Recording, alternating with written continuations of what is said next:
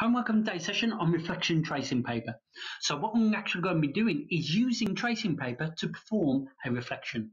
So here we've got an example where my line of reflection is a diagonal one and here's my object which is going to create an image roughly in this area just here.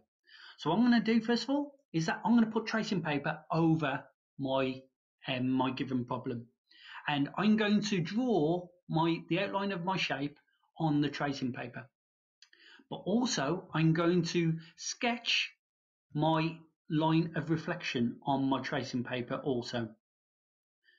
Now this is important because now I'm going to take my tracing paper away and I'm going to bring it back but I'm going to be flipping this over.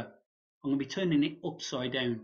So matching my um, my line of reflection now it will automatically put my shape exactly where it needs to go. And as you can see, it's uh, ended up here. Now, um, if you've used pencil for this, uh, the bottom uh, bottom facing of the tracing paper is going to be pencil, so you could uh, go um, hard on the back of this and it'll actually imprint the uh, pencil shape onto uh, your paper.